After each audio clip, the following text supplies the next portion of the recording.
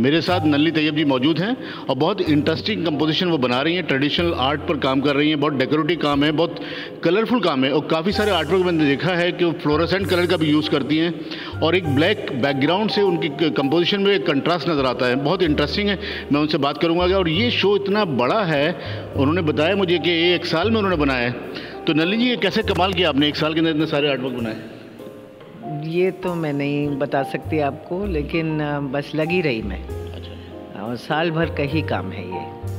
तो इसको क्या थीम लेकर के आपने एक साथ कंबाइन किया है? मैं एब्स्ट्रैक्ट आर्ट मैं एकदम से मेरी रुचि हुई। तो मैंने सोचा कि इस बार मैं फॉर्म या रिप्रेजेंटेशनल जैसे आर्ट होता है वो भी करूँ और साथ साथ एब्स्ट्रैक्ट आर्ट भी करूँ। तो तभी इसकी टाइटल पड़ी फॉर्मलेस यानी एक तरफ़ फिगरेटिव आर्ट और एक तरफ़ एब्स्ट्रैक्ट आर्ट नहीं फॉर्म तो इसमें डेफिनेटली है बड़ा रियलिस्टिक फॉर्म्स भी हैं तो आप कैसे बोल सकते हैं आप क्योंकि एक तिहाई इसमें पेंटिंग्स एब्स्ट्रैक्ट हैं। तो किस तरह से आपका मॉडिफिकेशन हुआ? पहले आप रियलिस्टिक कर रही थी और उसके बाद एब्स्ट्रैक्ट की तरफ़ चली गई। क्योंकि मेरे ख्याल से ये जर्नी हर आर्टिस्ट के साथ आएगी। जो रियलिज्म पे काम करता है, वो धीरे धीरे कुछ ना कुछ अपना ट्विस्ट दे के उसको थोड़ा बहुत एब्स्ट्रैक्शन की तरफ़ ले ही जाता है। और सही माने में कोई भी जर्नी ये हर आर्टिस्ट की जर्नी में मुझे लगता है ऐसे हो, होगा कि वो रियलिस्टिक आर्ट की तरफ़ से अगर शुरू करता है तो अपनी कुछ पर्सनल चीज़ें डालने से, वैसे ही आप थोड़ा सा उसको अलग कर देते हैं। और ग्रोथ है ये। एब्स्ट्रैक्ट की तरफ़ जाना बड़ा नेचुरल मुझे लगता है।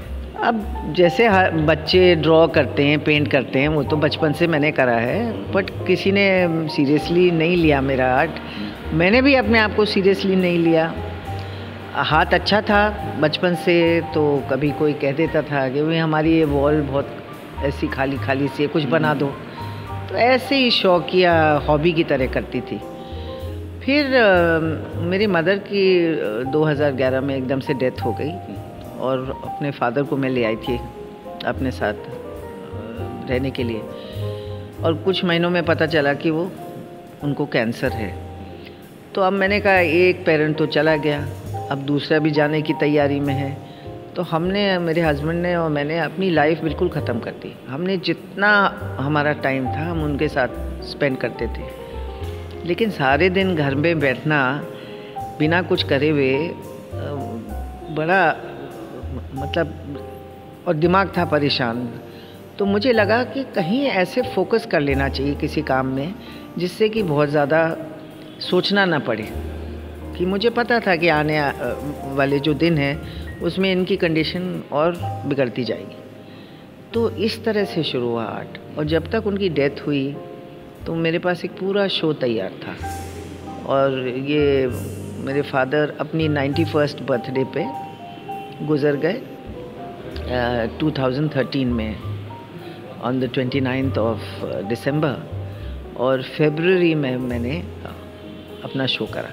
तो जैसे आप ये सेल्फ टॉट हैं तो आप ड्रॉ कर रही हैं पेंटिंग बना रही हैं तो आपको क्या रियलाइज़ हुआ कि मेरा इस तरह का आर्टवर्क है इस लेवल पे मैं पहुँच चुकी हूँ कि मुझे एग्जिबिट करना चाहिए?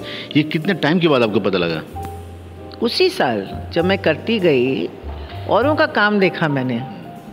सच मानिए तो कुछ लोगों का काम देखा। और मैंने अपने आप से कहा कि अगर ये एग्जिबिट कर सकते हैं तो मैं क्यों नहीं कर सकती हूँ? अच्छा कॉपी मैंने बहुत बचपन में इधर उधर कॉपी करी करके अपने आप को सिखाया था। लेकिन आ, मुझे मालूम था कि मेरा वर्क ओरिजिनल हो सकता है। मुझे कॉपी करने की ज़रूरत नहीं है। और किसी भी आर्टिस्ट के लिए अपना ओरिजिनल वर्क बहुत ज़रूरी होता है। तो वहाँ मैं कॉन्फिडेंट थी कि मैं अगर कुछ करना चाहूँ इस लाइन में तो मैं कर सकती हूँ। और अगर पहले शायद किसी ने धक्का मारा होता मुझे तो पहले शुरू हो जाता बट हर चीज़ अपने समय से होती है।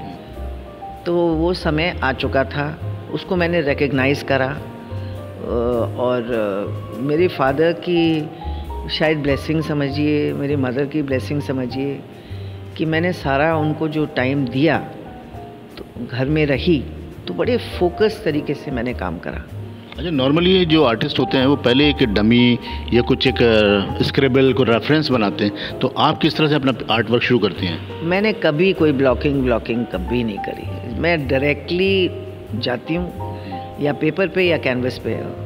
और विजुलाइजेशन की क्वालिटी जो है, वो काफ़ी अच्छी है मेरी। मुझे दिखाई देता है अपने दिमाग में कि मुझे क्या बनाना है और कैसे लगना चाहिए। ये नहीं कहती मैं कि जो मैं सोचती हूँ वही बनता है लेकिन बहुत आ, मतलब क्या कहना चाहिए?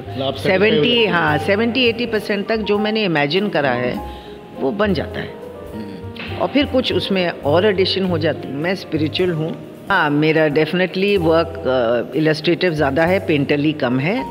और वो शायद इसलिए है क्योंकि वो कुछ uh, कहीं सारे जो रीजनल आर्ट्स हैं हमारे उससे भी लिंक्ड है क्योंकि वो पेंटर ही नहीं होते।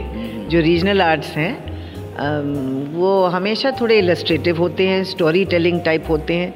उसमें मेरी रुचि ज़्यादा है। बहुत ऑफर्स आते हैं लोग आते हैं कहते हैं हम करिए। लेकिन मैं किसी और के काम में नहीं बनना चाहती। ये चीज़ मैंने बिल्कुल डिसाइड कर ली है। इसीलिए मैं खुद गैलरी बुक करती हूँ। मैं जैसे कंबाइंड शोज़ ग्रुप शोज़ होते हैं उसमें मैं जाना पसंद नहीं करती हूँ क्योंकि मुझे लगता है कि ग्रुप शोज़ में जो क्यूरेटिंग है वो बहुत ख़राब है। I am sorry to say this अपना काम करती हूँ जो जितना भी है अपने बलबूते पे क्योंकि जो भी चीज़ आप खुद करेंगे वो आपके कंट्रोल में है। तो किस किस मीडियम में आप काम कर रही हैं? पेपर पे कर रही हैं कैनवस पे? कैनवस पेपर दो चीज़ें हैं अभी तक। और सारे मीडियम मैं इस्तेमाल करती हूँ सिवाय ऑयल्स के।